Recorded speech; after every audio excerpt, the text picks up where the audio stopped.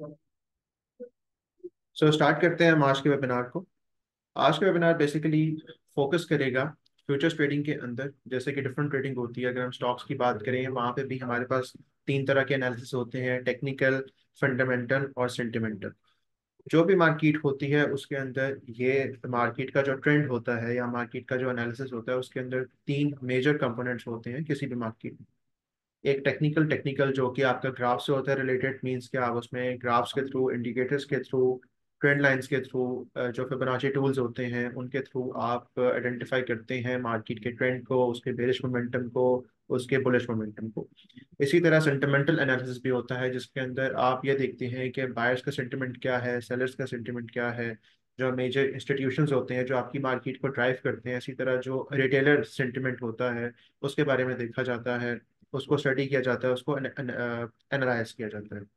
इसी तरह तीसरा जो हमारे पास एक एनालिसिस आता है डेट इज़ फंडामेंटल एनालिसिस जो कि आज हमारा टॉपिक भी होगा। फंडामेंटल एनालिसिस ना सिर्फ़ फंड फ्यूचर ट्रेडिंग में किया जाता है, बल्कि ये स्टॉक मार्केट में इसका बहुत अहम किरदार है। स्टॉक मार्केट में जितनी भी लिस्टेड कंपनीज़ होती हैं, उनमें भी फ्यूचर जो सॉरी फंडामेंटल एनालिसिस होता है, उसका एक अहम इंपॉर्टेंट रोल है, जो कि कंपनी की आने वाली फ्यूचर आउटलुक को प्रोजेक्ट कर रहा होता है। इसी तरह अगर हम बॉन्ड्स मार्केट की बात करें तो वहाँ पे भी फंडामेंटल एनालिसिस का एक इंतहाई अहम किरदार होता है, जहाँ पे ना सिर्फ़ क्वालिटेटिव बल्कि क्वान्टिटेटिव एनालिसिस किया जा रहा होता है। अब अगर हम बात करते हैं पाकिस्तान मर्केटाइल एक्सचेंज के हवाले से मीन्स यानी कि फ्यूचर्स ट्रेडिंग जहाँ पे कमोडिटीज़ की ट्रेडिंग होती है तो यहाँ पे भी एक फंडामेंटल एनालिसिस का अहम किरदार है। क्योंकि यहाँ पे जितना भी आपकी कमोडिटीज़ की मूवमेंट हो रही होती है, वो हो रही होती है फंडामेंटल्स की बेस पे सेंटिमेंट्स की बेस पे और टेक्निकल की बेस पे। तो आज के वेबिनार में अगर हम देखें तो हम स्टार्ट करेंगे वन बाय वन इन सब टॉपिक्स को कवर करते हुए। सबसे पहले तो हम ये देखेंगे कि फंडामेंटल एनालिसिस होता क्या है। उसके बाद हम इसकी इंपॉर्टेंस के बारे में देखेंगे कि फंडामेंटल एनालिसिस को जानने के बाद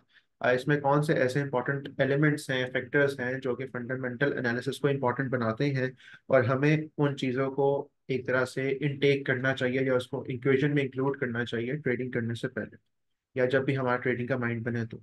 उसके बाद हम आपको इसके बारे में भी बताएँगे कि ऐसी कौन सी वेबसाइट्स हैं यूजफुल वेबसाइट्स हैं जहाँ पे आपको कॉम्प्रहेंसिव एंड कंसाइज डाटा मिल सकता है फंडामेंटल एनालिसिस के हवाले से, जो कि आपको हेल्प आउट करेगा फंडामेंटल एनालिसिस करने में और उसकी बेस पे आप मार्केट के ट्रेंड्स को बेहतर तौर पे या मार्केट में जो होने वाली मूवमेंट है, उसको बेहतर तौर पे आप जान सकें।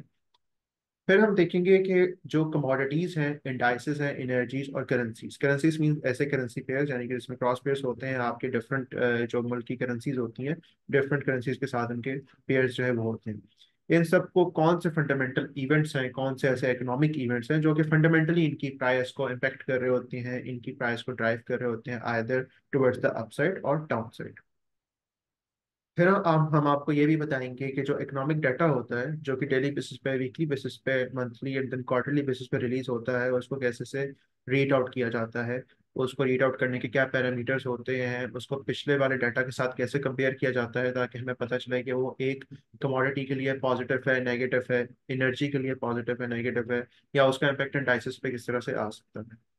सेकंड लास्ट में हम डिस्कस करेंगे कि हम इन सब चीज़ों को देखते हुए अपनी ट्रेड को कैसे प्लान कर सकते हैं। क्योंकि ऑफकोर्स अगर हम टेक्निकल एनालिसिस भी करते हैं तो हम अपनी ट्रेड को प्लान करने के लिए करते हैं। सेंटिमेंटल एनालिसिस भी हम करते हैं तो उसमें उसमें हमने अपनी ट्रेड को ही प्लान करना होता है। अब अगर हम बात करते हैं फंडामेंटल एनालिसिस की तो ये चीज़ भी हमें हेल्प आउट करती है कि अगर हमने कहीं पे एंटर होना है, किसी मार्केट या कमोडिटी के अंदर अपनी पोजीशन को बिल्ड करना है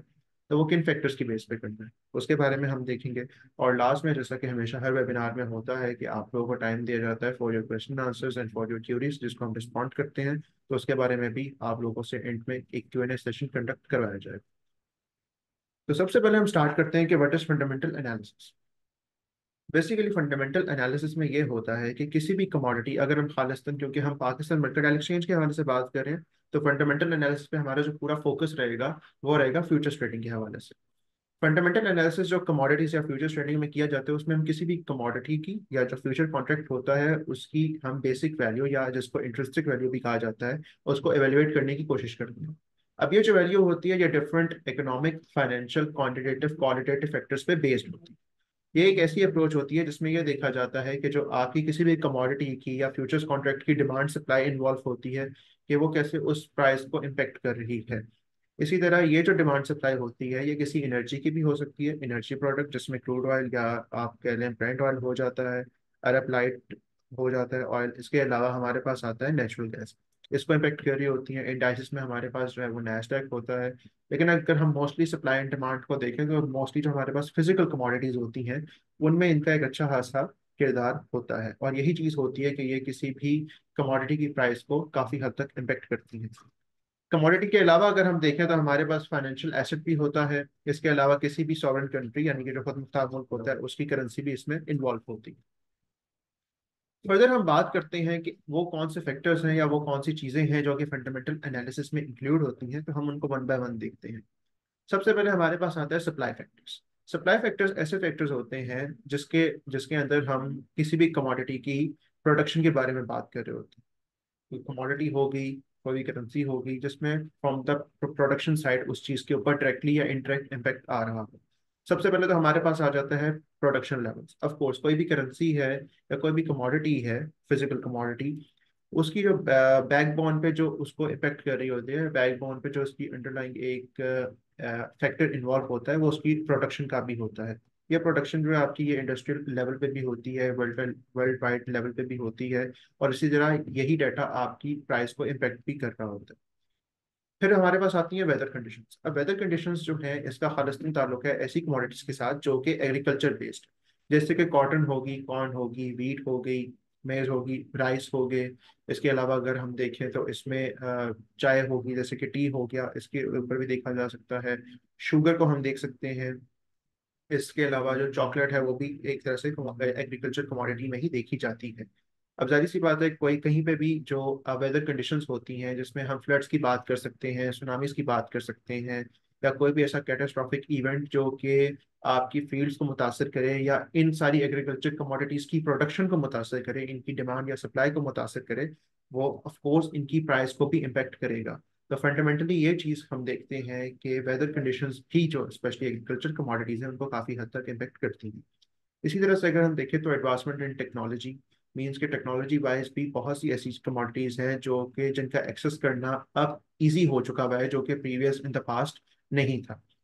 जब किसी भी चीज़ को एक्सेस करना इजी हो जाए तो वो अपने साथ एक वॉल्यूम भी लाता है और और मार्केट में वॉल्यूम की एक बहुत बड़ी अहमियत होती है। जितना ज़्यादा वॉल्यूम होगा, उतनी अच्छी प्राइस कोटेशन आपको मिल सकती है। यही रूल है किसी भी मार्केट का और सेम रूल फॉलो होता है आपकी कमोडिटीज़ मार्केट में भी। इसके अलावा अगर हम देखें तो गवर्नमेंट पॉलिसीज़ एंड जो टैक्सेशन होती है, ये बहुत अहम किरदार अदा करती है फंडामेंटली कमोडिटीज को या किसी भी फ्यूचर कॉन्ट्रैक्ट की प्राइस को मूव करने में। बात करते हैं अगर हम गवर्नमेंट टैक्सेशन और पॉलिसीज़ के हवाले से तो अक्सर आप लोगों ने सुना होगा जो रेमेडीज होती हैं इलेक्ट्रिसिटी पे या इवन के जो आपके इम्पोर्ट एक्सपोर्ट पे जो रेमेडीज होती हैं sorry the remedies the subsidies which I wanted to say जो सब्सिडीज दी जाती हैं या जो टैक्सेशन में ईज किया जाता है कुछ कंपनीज़ को या किसी मुल्क के साथ जब बेहतर टर्म्स एंड कंडीशन बनाए जाते हैं तो सर्टन कमोडिटीज आप एक्सपोर्ट भी करते हैं और आप इम्पोर्ट भी करते हैं। उसके ऊपर जो है uh, ये टैक्सेशन और ये पॉलिसीज़ इम्पेक्ट करती हैं उनकी प्राइसेस के ऊपर। इसी तरह से हमारे पास लास्ट एंड जो मोस्ट इंपॉर्टेंट अगर हम देखें फ्यूचर्स मार्केट में जो कि काफ़ी हद तक इम्पेक्ट करता है प्राइसेस को, ना सिर्फ़ कमोडिटीज को, बल्कि एनर्जीज को भी। वो है geo political events geo political events में हम एक मेजर हम देखें तो हमारे पास कोविड था। कोविड में हमने देखा कि एक बिल्कुल फंडामेंटल बेस पे जो क्रूड ऑयल था हमारा, उसकी डिमांड में सडन ड्रॉप देखने को मिला। क्योंकि जो आपके पास जितनी भी व्हीकल इंडस्ट्री थी, तमाम दुनिया की वो फॉर सर्टन टाइम पीरियड के लिए शट डाउन हो गई थी, जिसकी वजह से ऑफकोर्स क्रूड ऑयल की जो डिमांड है उसमें काफ़ी हद तक हमें शार्प फॉल देखने को मिला था। जब शार्प फॉल देखने को मिला तो ज़ाहिर सी बात है सप्लाई में भी कमी वाक़ हुई और अल्टीमेटली हमें प्राइस में डिक्लाइन देखने को मिला। इसी तरह अगर हम देखते हैं कि जब रशिया और यूक्रेन की बार स्टार्ट हुई थी तो डिमांड में इजाफा हुआ क्योंकि रशिया की तरफ़ से, क्योंकि Russia is one of the major oil producer in the world अब उसकी तरफ़ से देखा जाए तो जब उन्होंने अपनी प्रोडक्शन पे कट लगाने की बात की तो क्रूड ऑयल की डिमांड में इजाफा देखने को मिला जिससे क्रूड ने अपना ऑल टाइम हाई अचीव किया which which was around if I am not wrong then it was uh, from the range of 125 to 126 dollars per barrel तो ये हम देख सकते हैं कि किस तरह से जियोपॉलिटिकल इवेंट्स जो हैं वो इम्पैक्ट uh, करते हैं प्राइसेस uh, को। इसमें हमने देखा क्रूड ऑयल की बात की। अगर हम गोल्ड सिल्वर की बात करें तो वो हम देख सकते हैं कि जो मिडल ईस्ट में कॉन्फ्लिक्ट चल रहा है, इसके बेस पे भी गोल्ड के अंदर और सिल्वर के अंदर हमें अच्छा खासा राइज देखने को मिला दोनों की, क्योंकि सेफ़ हेवन एक तरह से कमोडिटी समझे जाते हैं सेफ़ हेवन एसेट हैं तो इन्वेस्टर्स अपना पैसा वहीं पे पार्क करते हैं जहाँ पे उनको बेहतर रिटर्न्स आने की एक्सपेक्टेशन हो। इसी तरह अगर हम बात करें अगर हम थोड़ा सा टेक्नोलॉजी फ़ील्ड पे आ जाएँ एआई की फ़ील्ड में आते हैं तो हम ये देखते हैं कि जो चाइना का एक बहुत इंपॉर्टेंट रोल है आपके कॉपर और प्लाटिनम के अंदर। तो अक्सर जब भी प्लाटिनम के बारे में या इवन चाइना पे अगर हम कोई टैक्सेशन की बात करें या उसके ऊपर फर्दर जो उनको सब्सिडीज मिली हुई हैं फ्रॉम द अमेरिका अगर हम उसकी बात करते हैं तो वहाँ पे वो चीज़ें भी इम्पेक्ट करती हैं प्लाटिनम की प्राइसेस को। सप्लाई फैक्टर्स के बाद अब हम देखते हैं डिमांड फैक्टर्स के बारे में। डिमांड फैक्टर्स में हमारे पास आती है इकोनॉमिक ग्रोथ के बारे में इंडस्ट्रियल अगर हम देखें डिमांड आती है हमारे पास इकोनॉमिक ग्रोथ में ये देखा जाता है कि किसी भी कमोडिटी की सॉरी किसी भी कंट्री की जो इकोनॉमी है वो किस तरीके से ग्रो कर रही है। अगर वो इकोनॉमी ग्रो कर रही होती है कि ना सिर्फ़ उसके स्टॉक मार्केट के लिए बेहतर होता है, बल्कि जो उस मुल्क की करेंसी होती है उसके लिए भी काफ़ी हद तक बेहतर होता है। अगली हम बात करें तो कंज्यूमर ट्रेंड्स है कंज्यूमर ट्रेंड्स टोटली ये एक बहुत मेजर डिमांड फैक्टर है। ऑफ़ कोर्स किसी भी कमोडिटी की या करेंसी की या कोई भी है प्रोडक्ट उसकी डिमांड में जब इजाफा होता है तो वो तभी होता है जब कंज्यूमर्स की तरफ़ से उसकी डिमांड भी इंक्रीज हो जाए और जब भी कंज्यूमर्स की तरफ़ से ये डिमांड इंक्रीज होती है तो उसकी भी प्राइस इंक्रीज हो जाती है। इसी तरह अगर हम कुछ सीजनल कमोडिटीज की बात करें जिसमें एग्रीकल्चर कोर्स हमारे पास आता है तो उसका भी एक अहम रो, रोल होता है जो कि यहाँ पे as a third point mention है हमारे पास that is seasonal demand variation क्योंकि कुछ जो कमोडिटीज होती हैं या कुछ जो फ्यूचर कॉन्ट्रैक्ट्स होते हैं वो सीजनल वाइज जो है उनकी डिमांड और सप्लाई में इजाफा आ रहा होता है कमी वाक़ हो रही होती है। तो वो भी उनकी प्राइस को इम्पेक्ट कर रहा होता है। इसके अलावा presence of alternative goods means कि आपके पास अगर एक ही रिसोर्स है, वो चाहे एनर्जी भी हो सकती है, कोई चीज़ भी हो सकती है, कोई भी प्रोडक्ट हो सकती है, अगर वो एक ही आपके पास है, लेकिन उसके बदले में कोई अल्टरनेटिव गुड आ गया है तो ऑफकोर्स वहाँ पे भी आपकी डिमांड जो है वो डिवाइड हो जाती है। और जब डिमांड डिमांड आपकी डिवाइड होती है तो एक कमोडिटी जिसकी डिमांड पहले एक आप कह लें फुल स्केल में आ रही होती है, जब वहाँ से एक डिस्ट्रीब्यूशन देखने को मिलती है हमें डिमांड की तरफ़ से, और फोकस आपका डाइवर्ट होता है फ्रॉम द कंज्यूमर एंड तो वो भी उसकी प्राइसेस में डिक्लाइन का बायस बनता है और इसी तरह इंक्रीज का भी बायस बन सकता है। सप्लाई फैक्टर और डिमांड फैक्टर्स देखने के बाद अब हम आते हैं इकोनॉमिक इंडिकेटर्स की तरफ़।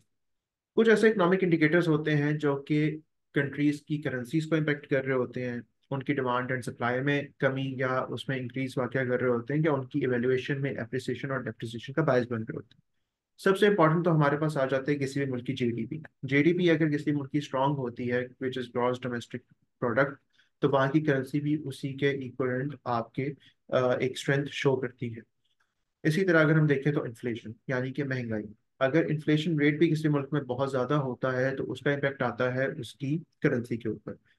इसी तरह अगर हम इन्फ्लेशन रेट को देखें तो वो उसका डायरेक्ट लिंक होता है हमारे इंटरेस्ट रेट के साथ, क्योंकि जब भी इन्फ्लेशन जो है, वो इंक्रीज होती है तो इस चीज़ की तो भी बढ़ जाती हैं कि फ्रॉम द रिज़र्व बैंक या जो सेंट्रल बैंक होते हैं एक सॉवरन कंट्री के, वो अपने इंटरेस्ट रेट की पॉलिसी को भी मॉनिटर करते हैं कि चाहे इसको बढ़ाया जाए, इसको मेंटेन किया जाए या इसको कम किया जाए।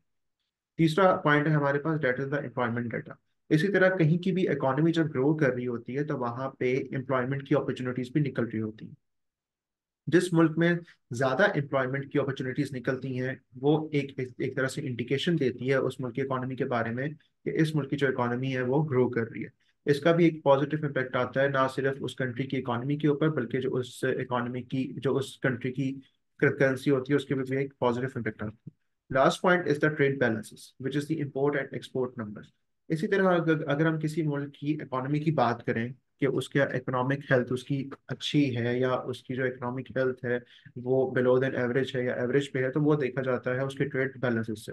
ट्रेड बैलेंसेस को देखने का बेसिकली दो तरीके कार होते हैं। या तो आपका नेगेटिव ट्रेड बैलेंस होता है या आपका पॉजिटिव ट्रेड बैलेंस होता है। नेगेटिव ट्रेड बैलेंस आपका तब अचीव होता है जब आपके नंबर ऑफ़ एक्सपोर्ट्स कम हो और नंबर ऑफ़ इम्पोर्ट्स ज़्यादा हो। क्योंकि ऑफकोर्स क्योंकि जो भी दुनिया में रिकग्नाइज करेंसी होती है या इंटरनेशनल करेंसी के अंदर जब आप ट्रेड कर रहे होते हैं तो उसका आउटफ्लो ज़्यादा हो जाता है इन केस ऑफ़ जब आपके नंबर जो है नंबर ऑफ़ इम्पोर्ट्स इंक्रीज होते हैं एक्सपोर्ट डिक्रीज होते हैं, क्योंकि आपके पास उस इंटरनेशनल करेंसी का आउटफ्लो ज़्यादा हो गया। इसी तरह जब अगर हम बात करें पॉजिटिव ट्रेड बैलेंस तब अचीव किया जाता है जब आपके नंबर ऑफ़ एक्सपोर्ट्स ज़्यादा हो जाए और नंबर ऑफ़ इम्पोर्ट्स कम हो जाए, क्योंकि आपके पास सरप्लस में वो इंटरनेशनल करेंसी आने लग जाती है, जो कि आपके पास जिसका इनफ्लो ज़्यादा हो जाता है और आउटफ्लो कम हो जाता है। लास्ट में हम बात करते हैं मार्केट सेंटिमेंट्स के बारे में। मार्केट सेंटिमेंट्स का भी एक बहुत अहम रोल होता है आपकी फ्यूचर कॉन्ट्रैक्ट्स और जो कमोडिटीज होती हैं, उसकी प्राइसेस को एवेलुएट करने में। अगर हम बात करें तो फ़र्स्ट हमारे पास पॉइंट आता है इन्वेस्टर्स सेंटिमेंट और स्पेकुलेशन के बारे में। इन्वेस्टर सेंटिमेंट और स्पेकुलेशन मोस्टली बेस होती है कि जब एक ग्रुप और ग्रुप ऑफ़ इन्वेस्टर्स जो है या एक ग्रुप ऑफ़ इन्वेस्टर्स में हम खाली इंडिविजुअल्स को नहीं ले सकते, हम इसमें जो बैंकिंग इंस्टीट्यूशन होते हैं, इसी तरह जो हेज फंड्स होते हैं डिफरेंट कंट्रीज़ के, क्योंकि हम फ्यूचर्स मार्केट की बात कर रहे हैं तो यहाँ पे इंडिविजुअल बेसिस पे इम्पैक्ट नहीं आ सकता। यहाँ पे जो आपके पास ह्यूज इंस्टीट्यूशंस होते हैं, जिनके पास billions and trillions of funds होते हैं, जो कि वो डेली बेसिस पे मूव कर रहे होते हैं from one investment point to another investment point उसको ऐसे मार्केट में वॉलेटिलिटी देखने को मिलती है। अगर हम यहाँ पे चंद का अगर हम नाम करें तो उनको सब जानते हैं, जैसे कि ब्लैक रॉक हो गया वैनकार्ट हो गया, इसके अलावा स्ट्रीट कैपिटल हो जाता है हमारे पास गोल्डमैन सैक्स हम देख सकते हैं जेपी मॉर्गन चेस देख सकते हैं। तो ये चीज़ें हैं जो कि इन्वेस्टर्स के सेंटिमेंट को चेंज कर सकती हैं। इसी तरह से इनकी तरफ़ से जो फ्यूचर आउटलुक दी जाती है फॉर सर्टन कमोडिटी के बारे में, वो भी प्राइसेस को काफ़ी हद तक ड्राइव करती है आइदर टुवर्ड्स द अपसाइड और डाउन साइड इसके बाद हमारे पास आता है market news and reports market news and reports जो हैं, ये डिफरेंट एक तरह से आप कह लें जो मार्केट के एनालिस्ट होते हैं, उनकी तरफ़ से ये रिपोर्ट्स जो हैं वो पब्लिश की जाती हैं। इसी तरह जो इंस्टीट्यूशन होते हैं, जिनके अभी हमने नाम लिया उनकी तरफ़ से भी वीकली मंथली और क्वार्टरली बेसिस पे हर मुल्क की जीडीपी डिफरेंट कंट्रीज़ की जीडीपी डिफरेंट जो आपके होते हैं रीजन उनकी जीडीपी को एक तरह से प्रोजेक्ट किया जाता है। इन्फ्लेशन को किया जाता है प्रोजेक्ट इन बारे में डिबेट होती है डिस्कशन होती है कि आया इस टाइम पे ये मुल्क जो है वो अपने जो बॉन्ड्स पे रिटर्न है, उनको इंक्रीज कर सकते हैं या जो उनकी इंटरेस्ट रेट है या जो मोनिटरी पॉलिसी है उसको मोनिटर करके उसको, उसके अंदर चेंजिंग ला सकते हैं या नहीं ला सकते।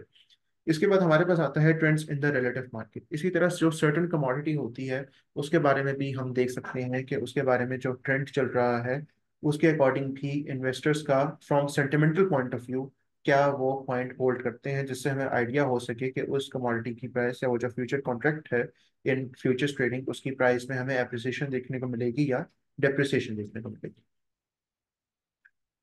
अब हम मेन पॉइंट पे आते हैं that is the importance of fundamental analysis सबसे पहले इसका जो इंपॉर्टेंट पॉइंट है that is the understanding about market dynamics fundamental analysis trader को हेल्प आउट करता है कि वो जो भी फैक्टर इंक्लूड है सप्लाई डिमांड के वो ट्रेडर्स को प्रोवाइड कर सके या ट्रेडर्स उस फंडामेंटल एनालिसिस के थ्रू उन चीज़ों को एक्सट्रैक्ट करके जो पोटेंशियल प्राइस मूवमेंट्स आ सकती हैं रिगार्डिंग सर्टन प्रोडक्ट उनको कैप्चर करने की कोशिश कर सके और उनको कैपिटलाइज करने की कोशिश करें। Next is the long term trades of course fundamental analysis के बारे में जब कोई भी ट्रेडर या इन्वेस्टर इंफॉर्मेशन हासिल करता है तो उसकी बेस यही होती है, क्योंकि अगर हम टेक्निकल की बात करें टेक्निकल में हम लॉन्ग टर्म भी ट्रेड ले सकते हैं शॉर्ट टर्म भी ले सकते हैं इंट्राडे भी कर सकते हैं स्विंग भी कर सकते हैं और स्कैल्पिंग भी कर सकते हैं depending upon our time frame that we are choosing to trade लेकिन अगर हम फंडामेंटल की बात करें तो फंडामेंटल में जो कमोडिटीज के ट्रेंड होते हैं, वो एक दिन या एक हफ़्ते के लिए नहीं, बल्कि वो महीनों तक वेरी करते हैं। इसी तरह से देखा जाए तो फंडामेंटल एनालिसिस एक तरह से ट्रेडर्स को हेल्प आउट कर सकता है कि वो लॉन्ग टर्म ट्रेंड्स को, चाहे वो डाउनफॉल की तरफ़ हो या अपसाइड की तरफ़ हो मीन्स कि वो बेरिश मोमेंटम की इंडिकेशन करें। या बुलिश मोमेंटम की इंडिकेशन करें, जिसमें हमें पता चले कि मार्केट ऊपर जा रही है, नीचे जा रही है, उसके बारे में ट्रेडर्स को हेल्प आउट करता है फंडामेंटल एनालिसिस के, वो इन चीज़ों के बारे में एंटिसिपेट कर सके। और ये फैक्टर्स ट्रेडर्स कैसे पता चला सकते हैं? By looking upon the economic cycles production changes increase in the demand और सप्लाई ऑफ़ अ कमोडिटी उसके बाद अगर हम बात करें तो impact of macroeconomic events ये इवेंट्स होते हैं, जैसे कि मॉनेटरी पॉलिसी जो कि किसी भी मुल्क के सेंट्रल बैंक या जो रिज़र्व बैंक की तरफ़ से दी जाती है, उसको देखा जाता है। जियोपोलिटिकल इवेंट्स जिनको हमने डिस्कस किया इकोनॉमिक डाटा रिलीजेस जो है, उनके बारे में देखा जाता है, जिसमें आपकी एम्प्लॉयमेंट आ जाती है इन्फ्लेशन आ जाती है जीडीपी आ जाती है किसी मुल्क की और ऑन कमोडिटी प्राइसेस अब हम देखते हैं कि वो कौन सी वेबसाइट्स हैं, जिनको यूज़ करते हुए एक ट्रेडर जो है, वो फंडामेंटल एनालिसिस की इंफॉर्मेशन हासिल कर सकता है। सबसे पहले जो इस वेबसाइट के बारे में ऑलमोस्ट सभी जानते होंगे जिनका ट्रेडिंग से ताल्लुक रहा है that is investing dot com यहाँ पे एक काफ़ी यूजफुल है वेबसाइट अगर हम देखें तो यहाँ पे आपको फ्यूचर्स ट्रेडिंग के हवाले से ना सिर्फ़ आर्टिकल्स मिल जाते हैं, बल्कि एनालिसिस भी मिल जाते हैं बहुत fundamental and technical as well और इसकी बेस पे भी आप एक इंडिविजुअल बेसिस पे बहुत ज़्यादा इंफॉर्मेशन या डाटा एक्वायर कर सकते हैं, ताकि आप चीज़ों को एंटिसिपेट कर सकें। उसके बाद अगर हम देखें तो फॉरेक्स फैक्ट्री फॉरेक्स फैक्ट्री बहुत अच्छी वेबसाइट है जहाँ पे आपको लाइव डाटा जो है वो रिलीज़ देखने को मिल रहा होता है और डिफरेंट करेंसीज या हर मुल्क के जो इंपॉर्टेंट इकोनॉमिक इवेंट्स होते हैं उनका ऑन टाइम आपको डाटा रिलीज़ होते हुए मिल रहा होता है। जिससे आपको आइडिया होता है कि ये जो डाटा है या इसका जो आउटकम है वो किसी भी करेंसी के लिए पॉजिटिव हो सकता है या नेगेटिव हो सकता है एंड uh, उसका किसी भी कमोडिटी पे या किसी भी मेटल पे उसका डायरेक्टली या इनडायरेक्टली क्या इम्पैक्ट आ सकता है। उसके बाद हमारे पास इसी तरह अगर हम देखना चाहें तो जो मार्केट के एनालिस्ट होते हैं, उनकी तरफ़ से जितनी भी पब्लिकेशन होती हैं और इसी तरह जो इंस्टीट्यूट जो इंस्टीट्यूट्स होते हैं आपके पास, उनकी तरफ़ से जितनी भी एक तरह से आउटलुक फोरकास्ट की जाती है, उनके बारे में तीन जो मेजर वेबसाइट्स हैं वो है एफ़ एक्स एम्पायर है एफ़ एक्स स्ट्रीट और ब्लूमबर्ग इसी तरह अगर हम देखें अगर हम फॉर यूट्यूब की साइट पे अगर हैं तो हमारे पास सी एन बी सी बहुत अच्छा एवेन्यू है C N B C live Yahoo Finance और इवन जो ब्लूमबर्ग जैसे यहाँ पे मेंशन है ब्लूमबर्ग की भी जो लाइव स्ट्रीम्स होती हैं, उनका जो लाइव टेलीविज़न है, वो काफ़ी हद तक एक यूजफुल प्लेटफॉर्म है, जहाँ से आप ना सिर्फ़ कमोडिटीज बल्कि करेंसीज और इंडाइसिस के बारे में भी इंफॉर्मेशन हासिल कर सकते हैं from the fundamental point of view अब हम बात करते हैं उन चंद इम्पैक्टफुल इकोनॉमिक इवेंट्स की और इनका आपस में रिलेशन होता क्या है। इसी तरह हम ये भी देख लेंगे कि मेटल्स इंडाइसिस करेंसी पेयर्स और एनर्जीज पे कौन कौन सी प्रोडक्ट इंक्लूड होती हैं और किन का रिज़ल्ट इनके अंदर आता है। फ़र्स्ट ऑफ़ ऑल अगर हम बात करें तो हमारे पास आता है मेटल्स मेटल्स में हमारे पास गोल्ड सिल्वर कॉपर प्लैटिनम इसी तरह प्लाटिनम और एंड देन एलुमिनियम ये मेटल्स की कैटेगरी में आते हैं और इनको जो इवेंट इम्पैक्ट करते हैं वो यूएस डॉलर की न्यूज़ ये इनको इम्पैक्ट करती है। इसी तरह जो Federal Reserve Bank of America है, ये इसकी जो स्पीचेस होती हैं, जैसे कि आजकल जो है उनके फेड चेयरमैन जेरोम पॉल उनकी स्पीच कमोडिटीज की प्राइसेस को काफ़ी हद तक इम्पेक्ट करता है। और जो जियो पोलिटिकल इवेंट्स होते हैं, ये भी मेटल्स की प्राइसेस को काफ़ी हद तक ड्राइव करते हैं। इंडाइसिस में अगर हम बात करें तो मेजर इंडाइसिस अगर हमें, हम सब जानते हैं that is the S and P five hundred Nasdaq जिसको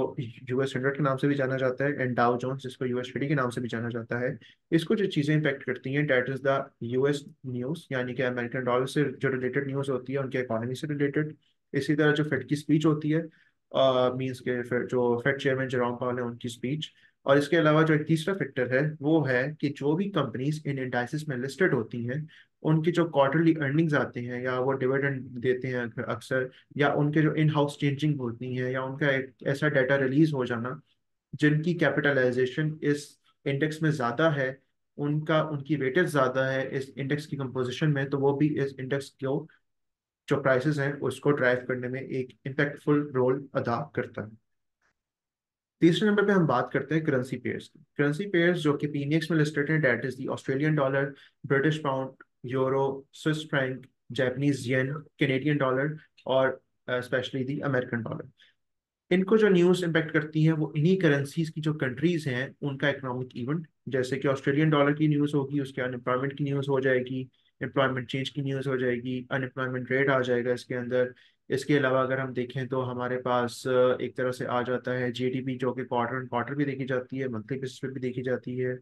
इसके अलावा अगर हम देखें तो जो सेल्स और प्रोडक्शन के लेवल्स होते हैं इनके, वो भी नंबर्स इनकी प्राइसेस को काफ़ी हद तक इम्पेक्ट करते हैं। एनर्जीज में अगर हम बात करें तो हमारे पास आता है क्रूड ऑयल और नेचुरल गैस क्रूड ऑयल और नेचुरल गैस को दो से तीन काफ़ी हद तक चीज़ें इम्पैक्ट करती हैं। सबसे पहले तो इनकी इन्वेंट्रीज और स्टोरेज डाटा मीन्स जो इसका ताल्लुक कंप्लीटली सप्लाई एंड डिमांड के साथ है। मीन्स कि अगर तो क्रूड ऑयल की डिमांड में इजाफा होगा सप्लाई में कमी वाक़ होगी तो एक तरह से प्राइस में हमें इंक्रीज देखने को मिलेगा। सप्लाई में इजाफा होगा डिमांड में कमी वाक़ होगी तो प्राइस में भी हमें डिक्लाइन देखने को मिलेगा। तीसरा जो इम्पैक्ट सॉरी जो दूसरा इम्पैक्ट आता है हमारे पास वो आता है जियो पोलिटिकल टेंशन की वजह से या जियो पोलिटिकल इवेंट्स की वजह से। फॉर एग्ज़ाम्पल कहीं पे कोई जंग होती है और जंग भी ऐसे रीजन में हो जो, जो और ऐसे कंट्रीज़ को इन्वॉल्व कर ले आपस में जो कि नेचुरल गैस या क्रूड ऑयल की प्रोडक्शन में या उनकी सप्लाई और डिमांड में एक अहम किरदार अदा करते हैं उनकी एक इम्पोर्टेंस है। क्रूड ऑयल और नेचुरल गैस की डिमांड में और प्रोडक्शन में और उनकी सप्लाई में तो वो भी इसकी प्राइसेस को इम्पेक्ट करता है। अब हम बात कर लेते हैं, यहाँ तक तो हमने देख लिया कि इम्पोर्टेंस क्या होती है फंडामेंटल एनालिसिस की फ्यूचर्स ट्रेडिंग में, और हमने ये भी देख लिया कि कौन से ऐसे हमारे पास इकोनॉमिक इवेंट्स होते हैं और वो किन किन को इम्पेक्ट कर सकते हैं। अब हम चंद उन इकोनॉमिक इवेंट्स के बारे में जान भी लेते हैं और ये भी देख लेते हैं कि उनका इम्पैक्ट किन किन पे आ सकता है। यहाँ पे जो मेंशन है बेसिकली ये वो मेजर इकोनॉमिक इवेंट्स हैं, जिसकी वजह से मार्केट में हमें बहुत ज़्यादा मूव देखने को मिलता है। अगर हम बात करें, सबसे top of the list that is the interest rate interest rates जो होते हैं, ये आपको monetary policy of the of reserve या कुछ मुल्कों में इनको सेंट्रल बैंक भी कहा जाता है, उसके बारे में आपको एक आउटलुक प्रोवाइड करते हैं कि वहाँ के जो सेंट्रल बैंक हैं या जो जो रिज़र्व बैंक हैं, वो कितना इंटरेस्ट रेट चार्ज कर रहे हैं। ये इम्पेक्ट करता है मेटल्स को करेंसीज को और इंडेक्सेस को। इसके बाद हमारे पास आता है, अगर हमने महँगाई को देखना है तो वो है इन्फ्लेशन जिसको सीपीआई के नाम से भी, यानी कि कंज्यूमर प्राइस इंडेक्स के नाम से भी जाना जाता है। ये किसी भी कंट्री के जो इन्फ्लेशन रेट होता है, उसको मेजर करने के लिए यूज़ होता है। इसका भी इम्पैक्ट आपकी मेटल्स पे आता है इंडाइसिस पे आता है करेंसीज पे आता है। अगर हम बात करें, जो अमेरिकन डॉलर की सीपीआई होती है, वो मेटल्स पे बहुत ज़्यादा इम्पैक्ट करती है। जैसे कि गोल्ड हो गया सिल्वर हो गया, इसी तरह प्लाटिनम हो गया और दीगर मेटल्स उसके बाद हमारे पास आता है एम्प्लॉयमेंट रेट एम्प्लॉयमेंट रेट जिसको एन एफ़ पी यानी कि नॉन फॉर्म पे रोल से भी जाना जाता है, इसके अंदर हमारे पास जो है वो एक तरह से एवरेज वेजेस देखी जाती हैं। उनमें इंक्रीज और डिक्रीज देखा जाता है। अनएम्प्लॉयमेंट रेट को देखा जाता है। इसके अलावा एम्प्लॉयमेंट चेंज को देखा जाता है। मंथली बेसिस पे भी और ईयर ऑन ईयर बेसिस पे भी कुछ मुल्कों में देखा जाता है। ये आपको बताता है कि किसी भी मुल्क में नंबर ऑफ़ जॉब्स में कितना इंक्रीज और डिक्रीज देखने को मिला है। इसके बाद हमारे पास आता है, अगर हम देखें तो जीडीपी जीडीपी में हमारे पास जो है वो मंथ ऑन मंथ और क्वार्टर एंड क्वार्टर बेसिस पे इकोनॉमिक प्रोग्रेस देखी जाती है कंट्रीज़ की। उसके बाद अगर हम देखें तो रिटेल सेल्स रिटेल सेल्स जो है बेसिकली इसका भी डायरेक्ट ताल्लुक है सप्लाई और डिमांड के साथ। क्योंकि रिटेल सेल्स के अंदर देखा जाता है कि from the consumer point of view हमारे पास कितनी ज़्यादा डिमांड में इजाफा हो रहा है। और अगर डिमांड में इजाफा होता है तो इसी तरह उस चीज़ की प्रोडक्शन में भी या तो इजाफा होगा या कमी वाक़ होगी। डिपेंड करता है कि जो प्रोड्यूसर है, उसका इसके ऊपर क्या स्टांस है। इसी तरह ये जो मेजर करता है, ये करता है चेंज इन कंज्यूमर स्पेंडिंग इसका भी जो इम्पैक्ट आता है, वो मेटल्स पे करेंसीज पे और इंडस्ट्रीज़ पे आता है। देन हम देखते हैं स्पीचेस स्पीचेस जो हैं स्पीचेस मेनली जितने भी रिज़र्व बैंक होते हैं या जो सेंट्रल बैंक होते हैं, अगर हम मेन इसमें एग्जांपल लें समझने के लिए तो जो फेड के चेयरमैन है जेरोम पॉल वक्त उनकी जो स्पीच होती है, वो जब अपनी स्पीच में इन्फ्लेशन के बारे में अमेरिकन इकोनॉमी की प्रोग्रेस के बारे में, या इसके अलावा अगर वो इंटरेस्ट रेट के बारे में कुछ भी फ्यूचर आउट का कुछ भी फ्यूचर आउटलुक करते हैं प्रोजेक्ट तो उनके जो, बयानात होते हैं इसी पे ही हमें मेटल्स की जो मार्केट होती है या जो कमोडिटीज़ की मार्केट होती है उसमें हमें मेजर मूव देखने को मिल रहे हो। और इसमें जो खासतौर पर चीज़ें इम्पेक्ट होती हैं मीन्स मेटल्स वो गोल्ड और सिल्वर होते हैं। इसी तरह उसका इम्पैक्ट इंडासिस पे भी आता है। नैसडैक के अंदर भी इसको देखा जा सकता है। इसी तरह यूएस ट्वेंटी में भी और और S and P five hundred में। लास्ट टू पे हमारे पास है crude oil inventories crude oil inventories की जो इकोनॉमिक इवेंट है इसके अंदर change in crude oil inventories को देखा जाता है कि क्या इन्वेंट्रीज में इजाफा देखने को मिला है या कमी वाक्य होगी? इसका जो इम्पैक्ट है वो डायरेक्टली क्रूड ऑयल पे ही आता है। लास्ट में हमारे पास है natural gas storage natural gas storage में भी हम ये देखते हैं कि जो नेचुरल गैस है, इसकी स्टोरेज में हमें कमी वाक्य हुई है या इसमें इजाफा हुआ है। इसका भी ताल्लुक डिमांड एंड सप्लाई के साथ है और इसका भी डायरेक्ट इम्पैक्ट आता है नेचुरल गैस के ऊपर। अब लास्ट में हम उस बेस की तरफ़ आएँगे कि हम जो है किस तरह से इन इकोनॉमिक इवेंट्स को रीड आउट करते हैं और इनको रीड करने का तरीका है क्या? अभी हम देखते हैं कि हमारे पास इकोनॉमिक इवेंट्स होते किस तरह के मेजरली हमारे पास तीन इकोनॉमिक इवेंट्स होते हैं high impact medium impact and low impact आप लोगों की आसानी के लिए यहाँ पे ये बताते चलें कि ये जो बेसिकली आपको एक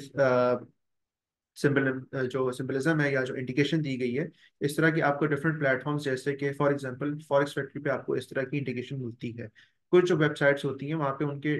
इन uh, इम्पैक्ट को रे, जो रेट करने का तरीक़ेकार है वो डिफरेंट वो आए वो आपको थ्री स्टार्स में फाइव स्टार्स में टू स्टार्स को भी वो अक्सर रेट करते हैं मीन्स अगर उनकी तरफ़ हाई इम्पैक्ट है और उनका पैरामीटर थ्री स्टार है तो वो हाई इम्पैक्ट को as a three star rate करते हैं. लेकिन जो कलर वेरिएशन पे चलती हैं वेबसाइट्स वो हाई इम्पैक्ट को अक्सर अक्सर रेड कलर से इंडिकेट करती हैं. इसी तरह यहाँ पे भी जो हाई इम्पैक्ट है अक्सर उसको रेड फोल्डर से इंडिकेट किया जाता है. जो मीडियम इम्पैक्ट है उसको ऑरेंज जो कलर है उससे इंडिकेट किया जाता है और जो लो इम्पैक्ट है उसको येलो से इंडिकेट किया जाता है। हाई इम्पैक्ट का मतलब ये होता है कि ये जो रिलेटिव एक तरह से आप कह लें इवेंट है, इसका इम्पैक्ट ज़्यादा आ सकता है और इसकी पॉसिबिलिटी ज़्यादा है कि ये ज़्यादा से ज़्यादा इम्पैक्ट करे उस प्रोडक्ट की प्राइस को आइदर टुवर्ड्स अपसाइड और डाउनसाइड ये डाटा पे डिपेंड मीडियम इम्पैक्ट जो है ये इंडिकेट करता है कि इस मीडियम इम्पैक्ट का मीडियम ही इम्पैक्ट आ सकता है या इसकी प्रोबेबिलिटी और पॉसिबिलिटी भी इतनी ही है कि इसका इतना ही इम्पैक्ट आएगा सर्टन प्रोडक्ट की प्राइस के ऊपर। लो इम्पैक्ट इस चीज़ को इंडिकेट करता है कि ये जो इकोनॉमिक इवेंट है, इसका या तो नो इम्पैक्ट या फिर इसका कुछ हद तक इम्पैक्ट आ सकता है, लेकिन वो इतनी इंटेंसिटी का नहीं होगा या उसका इतना वो इम्पैक्टफुल नहीं होगा जितना एक मीडियम इम्पैक्ट या हाई इम्पैक्ट इवेंट होता है। अब हम आते हैं सेकंड लास्ट स्टेज पे that is how to read an economic date जो टेम्पलेट्स आप लोगों के सामने एज एन एग्जांपल यूज़ किए जा रहे हैं, ये यूज़ किए जा रहे हैं from the website of forex factory अब फॉरेक्स फैक्ट्री अगर हम बात करें तो यहाँ पे हम देख सकते हैं कि सबसे पहले तो हमारे पास आ जाता है अनएम्प्लॉयमेंट रेट करेंसी लेफ़्ट पे मेंशन है, इसी तरह हर करेंसी डिफरेंट करेंसी के साथ मेंशन होती है. यहाँ पे हम देख सकते हैं कि यूएसडी लिखा हुआ है मीन्स का ये अमेरिकन डॉलर से रिलेटेड है. अगर ये अमेरिकन डॉलर से रिलेटेड है तो हमें आइडिया हो जाना चाहिए, इसका इम्पैक्ट आ सकता है मेटल्स के ऊपर, जैसे कि gold silver platinum and etcetera इसके अलावा करेंसी पेयर्स के ऊपर, वो करेंसी पेयर्स जो कि लिंक हैं अमेरिकन डॉलर के साथ। जैसे कि इसमें आ जाता है Australian dollar against American dollar British pound against American dollar euro against American dollar American dollar against Japanese yen इसी तरह सो ऑन उसके बाद हमारे पास फोल्डर का कलर है रेड इट मीन्स कि ये हाई इम्पैक्ट न्यूज़ है, इसका इम्पैक्ट भी मार्केट पे ज़्यादा आ सकता है। अनएम्प्लॉयमेंट रेट बताई गई है। इसके बाद हमारे पास यहाँ पे जो सबसे टॉप राइट जहाँ पे इस वक्त कर्सर है मेरा, ये प्रीवियस होता है, यानी कि प्रीवियस डाटा कितना था? फॉरकास्ट भी किया जा रहा होता है फ्रॉम द एनालिस्ट ये एक तरह से कंसेंसस होता है उनका कि इस मंथ में या इस वीक में क्या डाटा आ सकता है एक्सपेक्टेड क्या है। ये एक्यूरेट नहीं होता, ये बेसिकली एक फॉरकास्ट होता है, ठीक है? फॉरकास्ट जो है फॉरकास्ट की बेस पे देखा जाता है कि एक्चुअल क्या आ सकता है। और एक्चुअल का एक टाइम और डेट डिसाइड होती है और ये डाटा उसी टाइम उसी दिन रिलीज़ होता है। उससे पहले ये डाटा रिलीज़ नहीं होता। सोर्स यहाँ पे मेंशन है कि ये डाटा आ कहाँ से रहा है? मैयर्स भी यहाँ पे मेंशन है और इसको रीड आउट करने का तरीका ये है कि actual less than forecast is good for currency means कि यहाँ पे हमारे पास एक पैरामीटर आ गया कि हमने इस न्यूज़ को कैसे रीड आउट करना है कि अगर तो एक्चुअल मीन्स के this value the recent value अगर तो वो फोरकास्ट से कम आती है असल में तो ये करेंसी के लिए अच्छा है। अब करेंसी यहाँ पे हमारे पास कौन सी है? अमेरिकन डॉलर अब हमने ये देखना है कि अगर अमेरिकन डॉलर के लिए कोई भी न्यूज़ पॉजिटिव आ जाती है तो उसका नेगेटिव इम्पैक्ट आएगा गोल्ड के ऊपर सिल्वर के ऊपर मींस मेटल्स के ऊपर। इसी तरह जो अमेरिकन डॉलर के साथ करेंसीज है उनके ऊपर, और इसके अलावा जो हमारे पास इंडाइसिस हैं, उनके ऊपर भी उसका इम्पैक्ट आ सकता है। अब जैसे कि इस न्यूज़ की बात करें तो हमारे पास प्रीवियस भी फोर परसेंट थी फोरकास्ट भी फोर परसेंट की गई थी, लेकिन यहाँ पे डाटा लेस देन नहीं आया फोरकास्ट से, बल्कि ज़्यादा आ गया। तो इसका नेगेटिव इम्पैक्ट आएगा अमेरिकन डॉलर के ऊपर और इसी तरह पॉजिटिव इम्पैक्ट आएगा उन कमोडिटीज के ऊपर, जिनका डायरेक्टली लिंक है अमेरिकन डॉलर के साथ। इसी तरह आपको वो हिस्ट्री भी दे रहे होते हैं कि इन डेट्स पे जब ये डाटा रिलीज़ हुआ था तो वो क्या पॉजिटिव था या नेगेटिव था? इसी तरह अगर हम देखें तो जून का डाटा भी नेगेटिव था अमेरिकन डॉलर मई का डाटा भी नेगेटिव था अप्रैल का डाटा पॉजिटिव था क्योंकि यहाँ पे एक्चुअल जो है वो फोरकास्ट से लेस जो है वो लेस आई थी। मार्च का डाटा भी नेगेटिव था क्योंकि actual was greater than forecast और जो हमारे पास फेब का डाटा है वो पॉजिटिव था because the actual value was less than forecast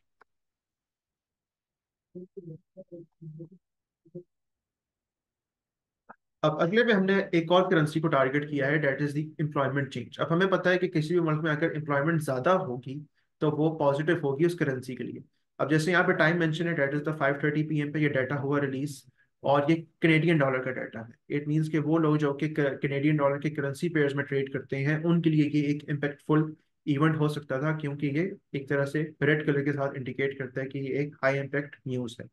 simple usual effect भी हम देख सकते हैं कि actual greater than forecast will be good for currency लेकिन अगर हम एक्चुअल डाटा देखें तो नेगेटिव में आया था मींस के एम्प्लॉयमेंट चेंज काफ़ी हद तक डिक्रीज हुआ है। नंबर ऑफ़ जॉब्स में कमी वाक्य हुई है, जो कि इकोनॉमी के लिए एक अच्छा इंडिकेशन नहीं है। तभी इसका एक नेगेटिव इम्पैक्ट आएगा कनेडियन डॉलर के ऊपर। और उन पेयर्स पे पॉजिटिव इम्पैक्ट आ सकता है उन करेंसीज पे जो कि कनेडियन डॉलर के साथ लिंक होती हैं, या कनेडियन डॉलर के साथ पेयर हुई भी होती हैं फ्यूचर्स ट्रेडिंग के अंदर। इसी तरह अगर हम देखें तो जून का डाटा क्योंकि इसकी वैल्यू एक्चुअल वैल्यू ग्रेटर थी फॉरकास्ट से तो इसका भी पॉजिटिव इफ़ेक्ट था कनेडियन डॉलर के ऊपर। नेक्स्ट हम आते हैं क्रूड ऑयल इन्वेंट्रीज का डाटा कि इसको कैसे रीड आउट किया जाता है। क्रूड ऑयल इन्वेंट्रीज का डाटा ऐसे रीड आउट किया जाता है कि क्रूड ऑयल इन्वेंट्रीज में हमें जितनी भी कमी वाक्य देखने को मिलेगी, उसका पॉजिटिव इम्पेक्ट होगा क्रूड ऑयल की की प्राइसेस पे। ये एक पैरामीटर है जिसके अकॉर्डिंग ये चीज़ों को डिसाइड किया जाता है। फॉर एग्ज़ाम्पल जैसे यूजल इफ़ेक्ट में लिखा भी है कि actual less than forecast is good for currency back end पे अगर हम देखें तो जब भी हमारे पास इन्वेंट्रीज में कमी वाक्य होती है इट मीन्स कि सप्लाई में कमी वाक्य होती है। और जब भी सप्लाई में कमी वाक्य होती है तो उस चीज़ की डिमांड में इजाफा हो जाता है। इसलिए ये कहा जाता है कि जब भी क्रूड ऑयल इन्वेंट्रीज नेगेटिव में आती हैं या अपने फोरकास्ट से कम आती हैं तो उसका पॉजिटिव इम्पैक्ट आ, आ सकता है क्रूड ऑयल की प्राइसेस के ऊपर। इसी तरह अगर हम देखें तो जो हमारे पास माइनस थ्री पॉइंट मिलियन का जो डाटा आया था ये प्रीवियस से और फोरकास्ट से कम था। अगर हम फोरकास्ट इसको कंपेयर करें तो ये डाटा पॉजिटिव था। तो इसका पॉजिटिव इम्पैक्ट आ सकता है क्रूड ऑयल के प्राइसेस के ऊपर। इसी तरह अगर हम देखें तो natural gas storage natural gas storage का भी सेम फंडामेंटल इसके पीछे प्रिंसिपल है कि अगर तो इसकी स्टोरेज में कमी वाक़ होगी या इसके स्टोरेज के कम नंबर्स आएँगे तो उसकी डिमांड में इजाफा होगा जो उसकी, जो कि इसकी प्राइसेस को अपसाइड की तरफ़ ड्राइव कर सकते हैं। लेकिन अगर हम ये डाटा देखें तो इसकी एक्चुअल वैल्यू प्रीवियस जो फोरकास्ट है, उससे ज़्यादा आई थी। फोरकास्ट हमारे पास जो था वो 56 था और एक्चुअल वैल्यू है 65 इट मींस कि ये ज़्यादा आई है तो इसका negative means it will be bad for currency currency means क्योंकि अक्सर लोग ये भी कंफ्यूज होते हैं कि नेचुरल गैस और क्रूड ऑयल में करेंसी अक्सर यूएस डॉलर मेंशन होता है। ये जस्ट फॉर इंडिकेशन है क्योंकि जो हमारे पास डाटा आ रहा होता है वो फ्रॉम दी अमेरिकन सोर्सेज की तरफ़ से आ रहा होता है। डेट्स वाई अगर हम देखें तो नेचुरल गैस और जो क्रूड ऑयल है वो एक एनर्जी है और इस, इसकी जो प्राइसेस को ड्राइव करते हैं वो यही सप्लाई एंड डिमांड के फैक्टर्स ड्राइव करते हैं। नाउ लास्ट पे अब हम डिस्कस करते हैं कि हम अपनी ट्रेड्स को प्लान कैसे कर सकते हैं।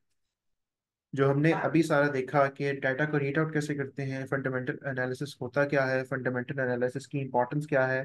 कौन से फैक्टर इसको इम्पेक्ट करते हैं। अब हम ये देखते हैं कि हमने जो इतनी इंफॉर्मेशन हासिल की इसको हम ट्रेडिंग में एग्जीक्यूट कैसे करेंगे? फ़र्स्ट ऑफ़ ऑल तो हमने एक्वायर करनी है फंडामेंटल नॉलेज जिसके लिए वे, वे, जो वेबसाइट्स हैं वो आपको इस वेबिनार में बताई गई उसके बाद हमने ये देखना है कि हमने एक इकोनॉमिक डाटा का ओवरव्यू देखना है जो कि उस कमोडिटी को उस उस रेलिवेंट कमोडिटी को या उस इंडेक्स को उस करेंसी को इम्पेक्ट कर इसी तरह अगर हम देखें तो हमने ये देखना है कि जो हमारे पास आता है डाटा वो हमने ये देखना है कि क्या वो पॉजिटिव है या नेगेटिव है। अगर वो डाटा पॉजिटिव है तो हम उसके अकॉर्डिंग ही अपनी ट्रेड को प्लान करेंगे। अगर वो डाटा नेगेटिव है तो हम उसके अकॉर्डिंग ही अपनी प्लेन को, अपनी जो ट्रेड है उसको प्लान करेंगे। उसके बाद लास्ट सेकंड लास्ट में हमें देखना है कि एनालाइज करनी कोई भी अपॉर्चुनिटी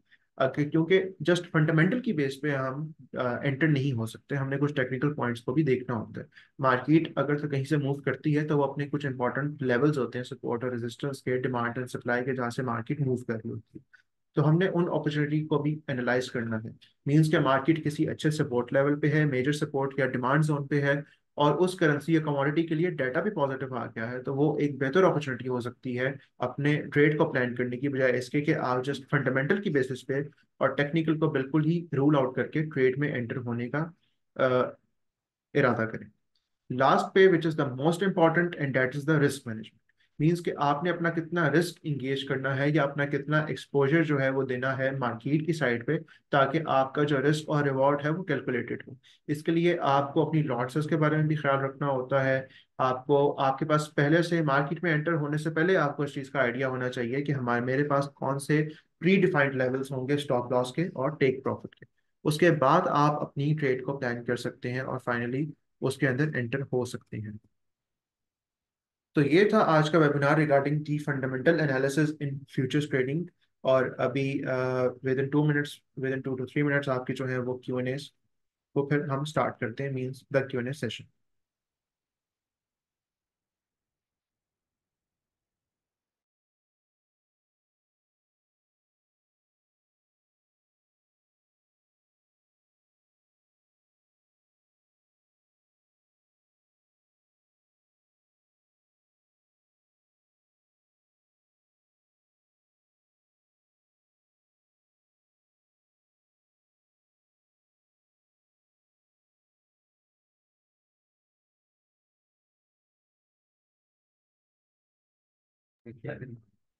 अच्छा क्यों जो सेशन है वो अभी स्टार्ट हो जाएगा तो आप लोगों की जितने भी क्वेश्चंस हैं या आप लोगों की भी जो, जितनी भी क्यूरीज हैं, वो आप जो क्यों का सेक्शन आप लोगों के पास आ रहा है, वहाँ पे आप आगे ड्रॉप कर सकते हैं, फिर हम उन्हें वन बाय वन इनशाला उनका आंसर करते हैं।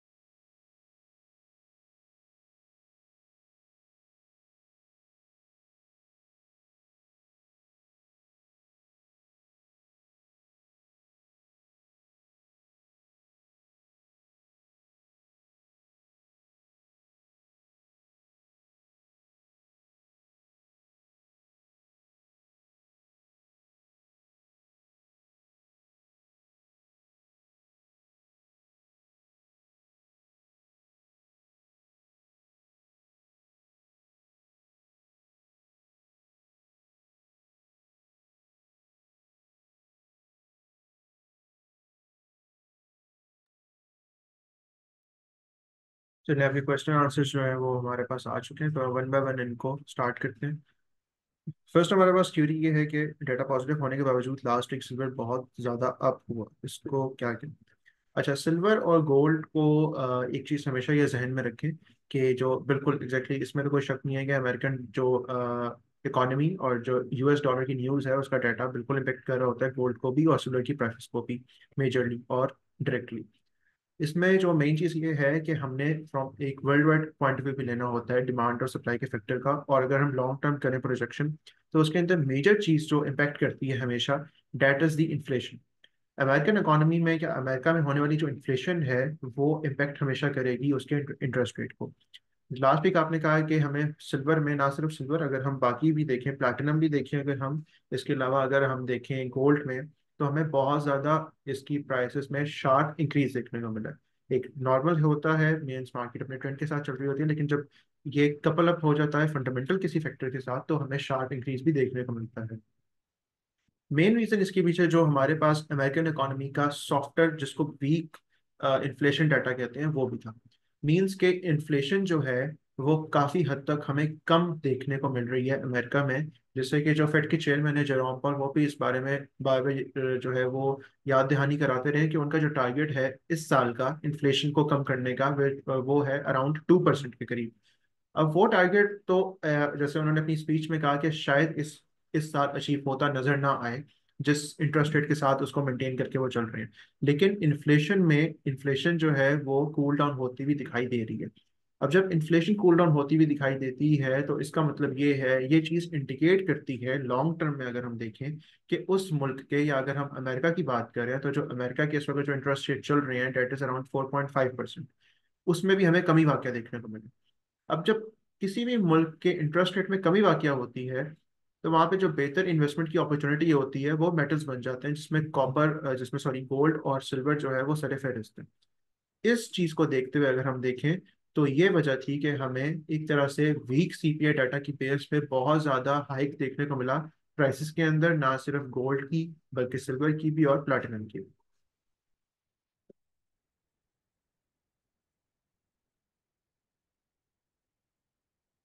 अगला सवाल है हमारे पास please explain the reason for copper decline अच्छा इसी के साथ एक और भी हमारे पास सवाल आया हुआ है कि which factors affect the most platinum and copper अच्छा कॉपर और प्लैटिनम जो है, इसकी हमेशा याद रखिएगा, इनका जो मेजर डिमांड या जो मेजर इनकी जो कंज्यूम है ना, जो जो, जहाँ से कंजम्पशन होती है जनरेट वो है चाइना क्योंकि ये तो ऐसे मेटल्स हैं जो कि यूज़ होते हैं सुपर कंडक्टर्स में आपके चिप्स में और एआई में. एआई का दौर है और इसमें जो है, जितनी भी प्रोडक्शन सेमीकंडक्टर्स की सुपर कंडक्टर्स की और जो माइक्रोचिप्स होती हैं, जो कि सब आर्टिफिशियल इंटेलिजेंस में यूज़ होती हैं। ये चाइना से ही बेसिकली मैन्युफैक्चर होती हैं। चाइना की मार्केट में even after Covid and during the Covid ही जो प्लैटिनम और जो कॉपर की डिमांड है, उसमें चेंजेस और वेरिएशन आती रहती हैं। कॉपर के जो डिक्लाइन है, वो बेसिकली इसी वजह से है कि कॉपर की डिमांड में हमें कमी वाक़ देखने को मिली in the last two weeks और उस वजह से मेजर जो इम्पैक्ट था वो कॉपर की प्राइसेस में देखने को मिला। इसलिए हम देखें तो हमें तमाम मेटल्स में across all the metals copper बहुत वीक दिखा। मीन्स के कॉपर का डिक्लाइन काफ़ी काफ़ी टाइम से स्टार्ट हुआ है। तब भी जब प्लैटिनम गोल्ड और सिल्वर जो थे वो अपसाइड की तरफ़ मूव कर रहे थे। तो होपफुली इस आंसर से आपकी क्यूरी जो है वो सॉल्व होगी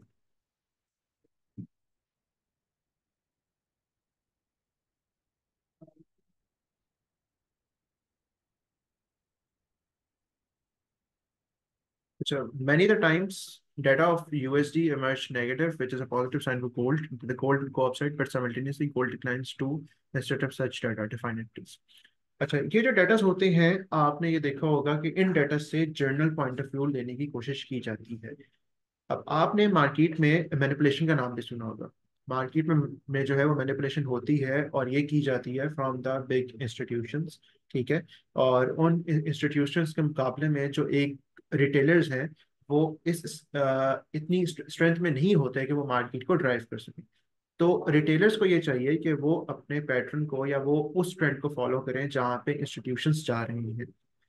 अब ये होता है अक्सर न्यूज़ पे कि अगर आपको इस चीज़ का भी आइडिया हो, जो न्यूज़ होती हैं, ये साइकोलॉजिकली बहुत ज़्यादा इम्पेक्ट करती हैं।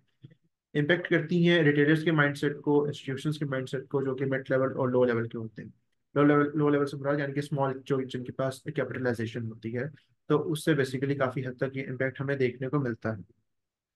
इसलिए अक्सर ऐसा होता है, इसको बेसिकली मैनिपुलेशन कहा जाता है, कि जब आपका बहुत ज़्यादा डाटा जो है, वो नेगेटिव आ जाए, और एक्सपेक्टेशन यही होती है कि गोल्ड जो है वो अपसाइड पे जाएगा। लेकिन अक्सर आपने ऐसा भी देखा होगा कि gold for a certain time period upside पे जाता है कैंडल की वहाँ पे विक बनती है और सडनली जो बॉडी है वो डाउन साइड की तरफ़ उसकी फॉर्मेशन स्टार्ट हो जाती है और वही जो एक तरह से ट्रेंड आपका बुलिश होता है वो सडनली बेरिश में चेंज हो जाता है। तो डेट इज़ जो है वो ये हमें देखने को मिलता है कि डिस्पाइट डाटा पॉजिटिव आए नेगेटिव आए, अक्सर ये हम इस मैनिपुलेशन का शिकार होते हैं। इस मैनिपुलेशन से बचने के लिए इन केस अगर आप उस ट्रेड में हैं और अगर ऐसा हो गया है तो उसमें दो चीज़ें बहुत इंपॉर्टेंट है कि आपके पास पहले से स्टॉप लॉस और टेक प्रॉफिट के डिफाइंड लेवल मौजूद हो, जो कि आपके ट्रेड पर लगे होने चाहिए ताकि हमेशा जो आपका एक ऐसी आपको अनसर्टन कंडीशन में वो चीज़ इन्वॉल्व ना कर दे। सेकेंड ये आपका रिस्क मैनेजमेंट या जो आपकी लॉट साइज़ है, वो पहले से कैलकुलेटेड होनी चाहिए कि आपको पहले से आइडिया हो कि मेरा कितना, मेरी इक्विटी पे या बैलेंस पे मेरा कितना रिस्क जो है वो एक्सपोज हुआ हुआ है towards the market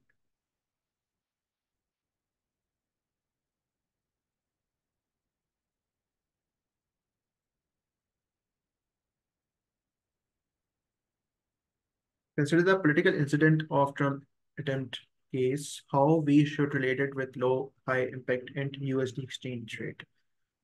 अच्छा आपने जो बिल्कुल ये जो वाक्य हुआ था इलेक्शन कंपेन के दौरान अभी कुछ दिनों पहले इसका इम्पैक्ट जो था वो एक एक्सपेक्टेड था कि मार्केट पे आएगा। और ना सिर्फ़ इंडाइसिस पे बल्कि जो कमोडिटीज मार्केट है हमारे पास गोल्ड हो गया सिल्वर हो गया उसके ऊपर भी। अब हमें यहाँ पे ये देखना होता है कि ऐसे जो अनसर्टन वाकयात होते हैं उनकी इंटेंसिटी है क्या? अगर हम मेजर तौर पर देखें एक तरह से कोई भी मेजर जो है उसके अंदर हमें नुकसान देखने को नहीं मिला। जब मेजर नुकसान देखने को नहीं, नहीं मिला ऑल दो ये एक न्यूज़ इट्सल्फ बहुत ज़्यादा अनएक्सपेक्टेड थी कि ऐसा कुछ हो जाए। लेकिन ऑफ़ कोर्स एक तो वो हुआ जिस टाइम पे तब मार्केट क्लोज थी। हफ़्ते के दिन हुआ ये। अगले दिन भी संडे था हमारे पास और संडे को बेसिकली ये जो होते ही है चीज़ें ये अपने इनकी जो इंटेंसिटी होती है with the passage of time decrease हो जाती है। और जब कोई ऐसा बड़ा वाक्य हुआ नहीं था उ, उस टाइम के लिए उस इस वाक्य की इंटेंसिटी ज़रूर थी। लेकिन ऐसा कोई जब ज़्यादा नुकसान नहीं हुआ तो मार्केट ने इसको जो है वो काफ़ी हद तक फैक्टर इन किया। अगर हम गोल्ड के फ्यूचर्स की बात करें तो जब मंडे को मार्केट ओपन हुई थी around three twenty nine A M पे तो almost four two five dollar का हमें गैप देखने को मिला था लेकिन मार्केट ने उसको बहुत जल्दी फिल किया और मार्केट अपने नॉर्मल रिदम पे वापस आई। तो इन वाक्यात में हमें यह देखना होता है, जिसके लिए एक टर्म यूज़ होती है फैक्टर इन मार्केट चंद चीज़ों को बहुत पहले से ही फैक्टर इन कर लेती है और उसका ज़्यादा इम्पैक्ट आने नहीं देती। यही चीज़ अक्सर हमें फेड की इंटरेस्ट रेट में भी देखने को मिलती है, जब बहुत ज़्यादा पहले से मुतव हो जाए ये चीज़ के, अभी इंटरेस्ट रेट इंक्रीज होने ही होने हैं तो गोल्ड में बजाय इसके कि उस इंटरेस्ट रेट की डेट का इंतज़ार किया जाए, उससे पहले ही हमें कभी कभार भी डिक्लाइन देखने को मिल जाता है।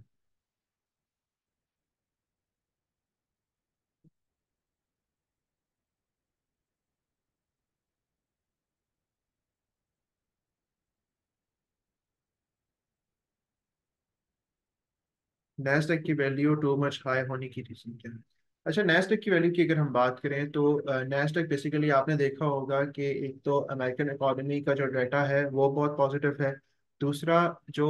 इकोनॉमी इन टर्म्स ऑफ़ अगर हम उनकी ग्रोथ की, साइड में बात करें। सेकंड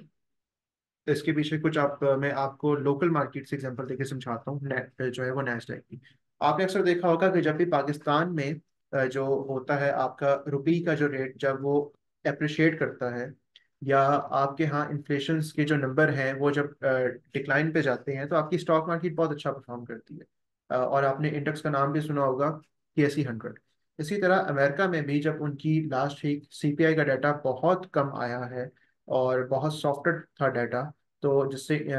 मेटल्स में भी हमें इंक्रीज देखने को मिला तो सेम चीज़ थी कि जैसे यहाँ की इन, जब इन्फ्लेशन डिक्लाइन होती है और हमारी स्टॉक मार्केट की पॉजिटिव होती है इसी तरह जब भी किसी मुल्क की इन्फ्लेशन में डिक्लाइन देखने को मिलता है तो वहाँ की भी जो स्टॉक मार्केट है, वो पॉजिटिव परफॉर्म करती है। इसके अलावा अगर हम और इन डिटेल इन डेप्थ जाके देखें तो जो बिग कैपिटलाइजेशन या जिनकी ज़्यादा वेटेज है, उन ट्रेड्स के अंदर, वो है हमारे पास एक एनवीडिया स्टॉक आपने सुना होगा। उसकी जो टोटल वर्थ है या उसकी जो कैपिटलाइजेशन है, वो बहुत हद तक इंक्रीज हो रही है। और ज़ाहिर सी बात है, जब भी कोई स्टॉक अच्छा परफॉर्म करता है तो स्टॉक भी बेसिकली क्योंकि इंडेक्स जो है वो कंपोजिशन ही स्टॉक्स की है। एक एवरेज वेटेड वैल्यू होती है तमाम स्टॉक्स की और उसी का एक कंपोजिट जो है वो इंडेक्स कहलाता है। तो इसी तरह जब स्टॉक्स अच्छा परफॉर्म करते हैं तो उसका हमें कलेक्टिव एफर्ट या रिज़ल्ट देखने को मिलता है इंडेक्स के अंदर।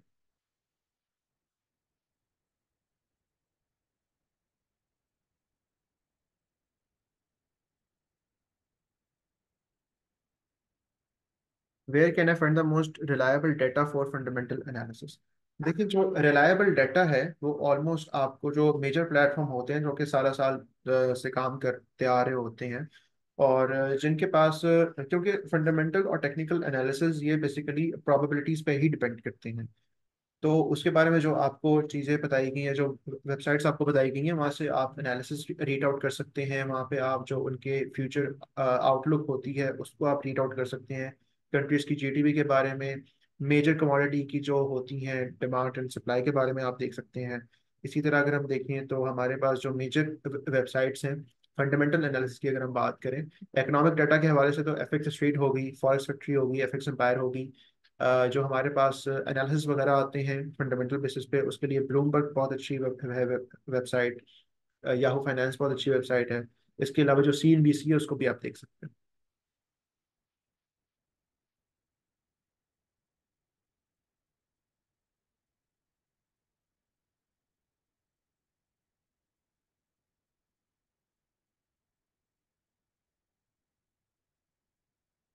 So Ram, could you shed some light on sharp declining gold prices in Friday trading session? अच्छा देखें अगर गोल्ड की हम बात करें ना सिर्फ़ गोल्ड बल्कि सिल्वर में भी हमें ये डिक्लाइन देखने को मिला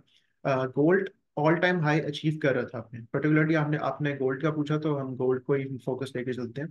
गोल्ड ने ना सिर्फ़ अपने ऑल टाइम हाई अगर हम सी एफ़ डी यानी कि स्पॉट की बात करें, बल्कि चूँकि फ्यूचर ट्रेडिंग की बात करें तो फ्यूचर ट्रेडिंग में भी हम देख सकते हैं कि हमारे पास लास्ट स्टेब्लिश जो ऑल टाइम हाई था ATS it was around two four fifty four उसको मार्केट ने ब्रेक किया two two four seven eight को अचीव किया एंड फाइनली उसको भी ब्रेक करके टू फोर एट सिक्स या टू फोर एट फाइव के अराउंड ऑल टाइम हाई इस वक्त मार्केट ने स्टेब्लिश किया हुआ है।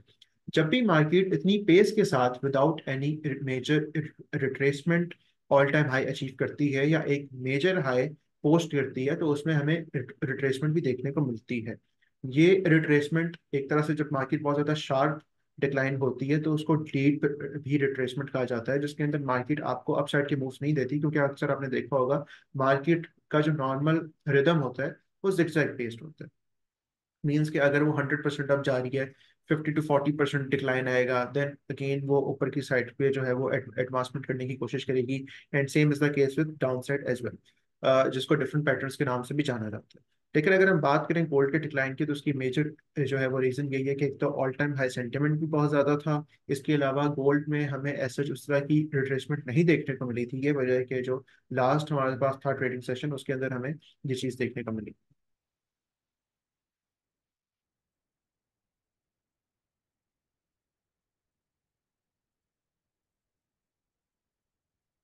क्या मैं सिर्फ़ फंडामेंटल एनालिसिस पे रिलाई करके ट्रेड कर सकता हूँ। फंडामेंटल एनालिसिस पे आप रिलाई करके ट्रेड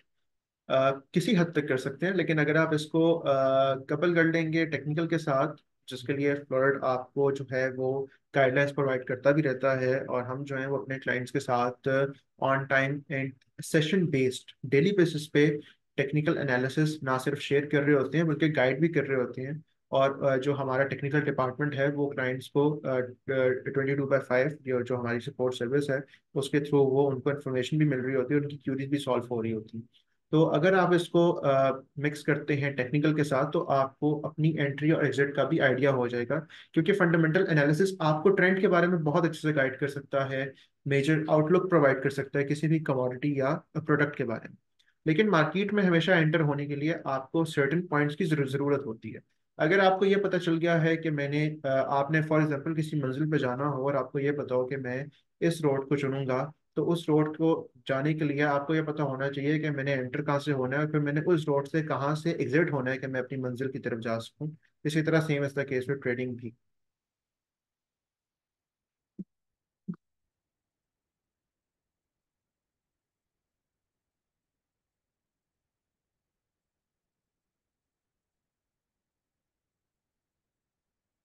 So last question है, हमारे पास how can I differentiate between the short term and long term impacts of the fundamental factors on the price of the commodities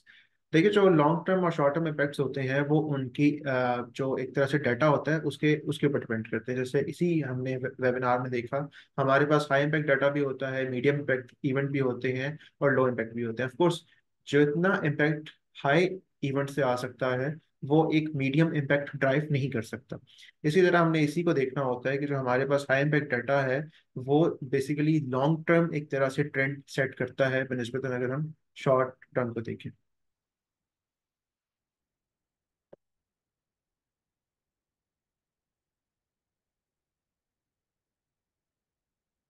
तो आज का वेबिनार जो है, वो हम यहाँ पे एंड करते हैं। और होपफुली इस वेबिनार से आप लोगों को काफ़ी यूजफुल इंसाइट्स मिले होंगी रिगार्डिंग द फंडामेंटल एनालिसिस और इन फ्यूचर्स ट्रेडिंग इसी तरह जिन लोगों ने अगर तो उनसे ये अनफॉर्चुनेटली वेबिनार मिस हो गया है तो ये उन लोगों के लिए इंशाल्लाह जो हमारा जो यूट्यूब का पेज है फ्लॉट कमोडिटीज़ का, वहाँ पे भी ये अपलोड कर दिया जाएगा। जैसे कि हमारे दीगर जो हैं वेबिनार्स वो वहाँ पे अपलोड हैं और आप उनको भी एक्सेस कर सकते हैं, जहाँ पे ना सिर्फ़ आपको फंडामेंटल्स बताए गए हैं कि फ्यूचर्स ट्रेडिंग के स्ट्रक्चर बेसिकली होता क्या है। आ, उसके अंदर आपको एक इन डिटेल कैलकुलेशंस भी बताई हुई हैं। इसके अलावा टेक्निकल एनालिसिस के हवाले से भी हमारे वेबिनार जो हैं वो कंडक्ट हो चुके हैं। और इसी तरह आने वाले टाइम में भी फॉरवर्ड कमोडिटीज ऐसे वेबिनार जो है वो कंडक्ट करवाता रहेगा। So till then thank you and अल्लाह हाफिज़।